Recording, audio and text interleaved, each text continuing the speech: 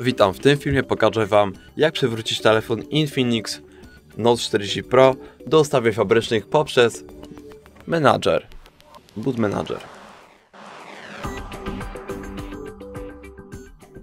Na początku wyłączamy nasz telefon, klikając ten przycisk wyłącznika i klikając opcję wyłącz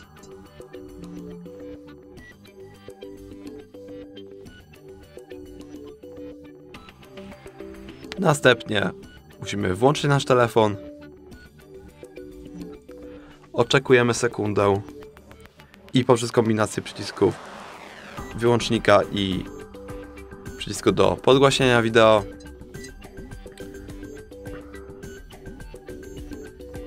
Klikamy.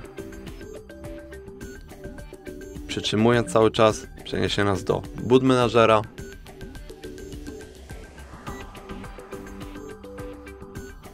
Następnie poprzez kombinację tych samych przycisków wchodzimy do opcji tego menadżera.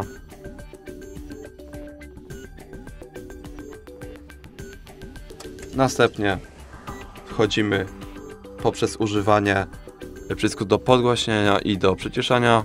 Yy, schodzimy do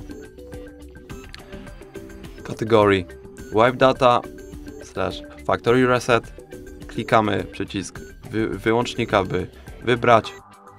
Zjeżdżamy znowu na dół, klikając przycisk do, y, do przyciszania i klikamy wyłącz znowu przycisk do wyłączenia telefonu, by potwierdzić nasz reset twardy telefonu.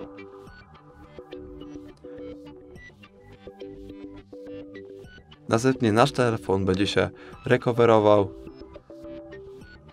i klikamy znowu przycisk wyłącznika, by wybrać opcję Reboot System Now. Przez co telefon teraz zostanie przywrócony do ustawień fabrycznych po jego włączeniu. Dziękuję za oglądanie tego filmu. Zachęcam do subskrybowania, lajkowania i komentowania.